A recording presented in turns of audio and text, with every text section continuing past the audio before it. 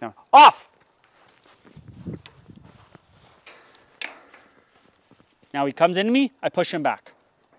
Good.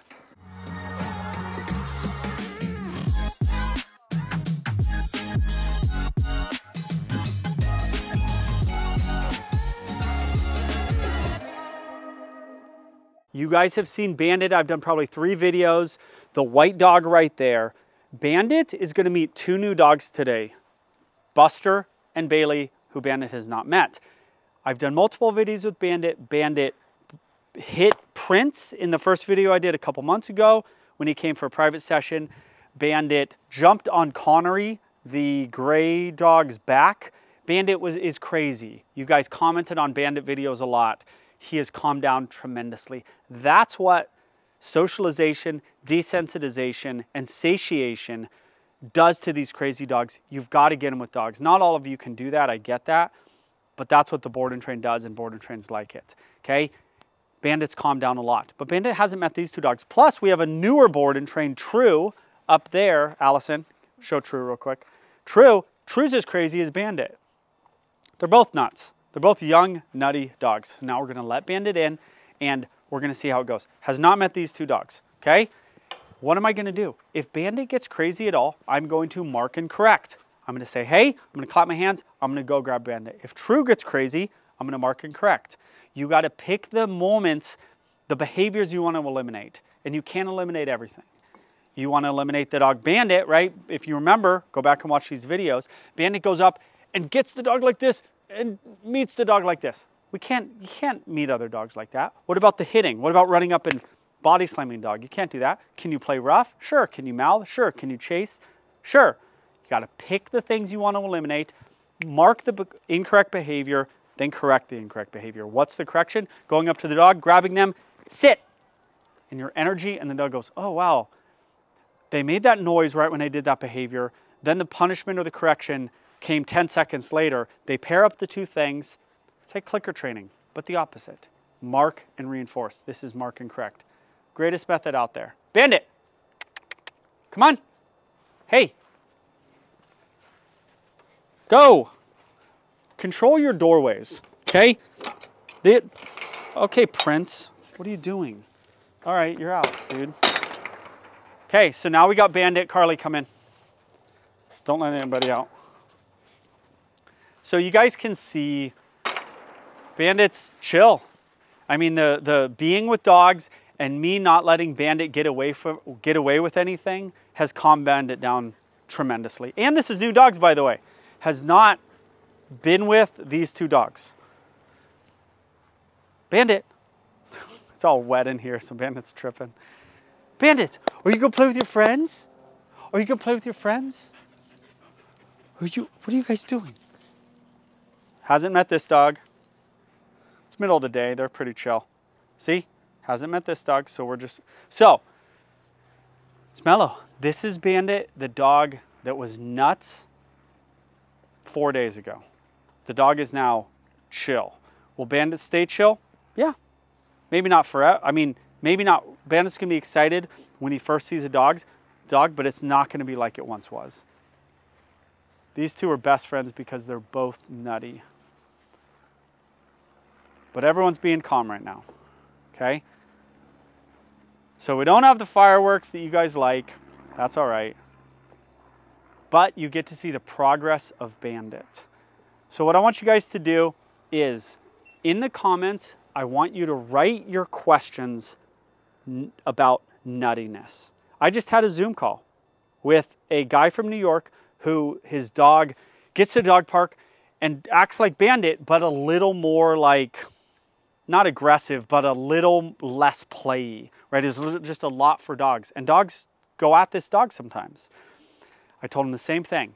You got to be the boss. You got to do the fake leash takeoff method to calm him down at the dog park. You have got to not let him jump on people. In the video at one point, he jumped on the camera person. I was like, hey, you got to give him a correction. You got to walk, it was a female, you got to walk her away. Sir, sit. We're not messing around. The world is not this place for your dog to run around and launch itself at dogs and hit dogs and chase dogs But how do you fix that in the moment of a dog park or a situation like this or Central Park, New York?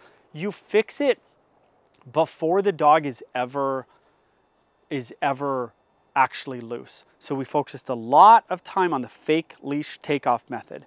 That method where you act like he gets the, the, the Zoom call I'm supposed to do. Dog was just like Bandit. You get to Central Park, you go click, and you act like you take the leash off. You let the leash be loose. Then you go, okay. Dog flies away because that first fly away is the main problem. That first flyaway is where the dog goes, I do whatever I want. I'm gonna, I rush up to dogs and they hit the unleash and you give them a little correction. Then you do it again. Click, you don't take it off. Okay, dog flies away. By the third time, the dog's like walking away from you for the first time ever in the dog's life. They have to teach impulse control. Bandit has had no impulse control. Bandit would see dogs, would rush up to dogs and do whatever he wanted with dogs. That is not life. That isn't a dog's life. That isn't a person's life. That isn't social life. You can't do that. In the wild, they can do that. It's encouraged in the wild to rush up to things and kill things, to rush up to things and defend yourself. That is not how our society works. And we've taken these dogs and we've brought them into our society. And unfortunately, or fortunately, or whatever, they have to conform to this. Unless you live on a farm, which 95% of you do not, they have to conform and be gentle with dogs and conform to what this society is like. I didn't make the rules. Those are the rules. Your dog can't be rushing up and body slamming dogs. I didn't make these rules. I let dogs get pretty darn rough, actually. But can you do that everywhere? No. Can the dog do that to other dogs? No. Can dog do it to a little fluffy dog? No. Man, if you don't like it, don't bring around little fluffy dogs. Or yell at the people with the little fluffy dogs, tell them to tough enough. I don't know. But if you want a well-behaved dog, you can't let your dog do that. I didn't make the rules. These are the rules. All right, Bandit and Bailey. He hasn't met Bailey. He's doing fine, right? Like he, but he's finally getting a little energetic. He like realized that he hasn't met Bailey yet. Bailey will tell him what's up though if he gets too much. Oh. I'm going to correct the next time he goes up there because Bailey may not correct him. Bailey actually kind of enjoys it. Oh, here we go. Took a while. And listen, this is fine. Oh, good. Little correction. Good boy, Bailey. Now, you guys are not going to have a dog like Bailey, so I have to show you what to do. But I would prefer the dog correct him the dog, a dog correcting another dog is more powerful than you correcting them. But you're not going to have a Bailey in your life. Bailey's such a good boy. And it's not even a harsh correction. It's barely a correction. It's not even a correction, actually. It's a please don't do that. That's not a correction. Yeah, do it again.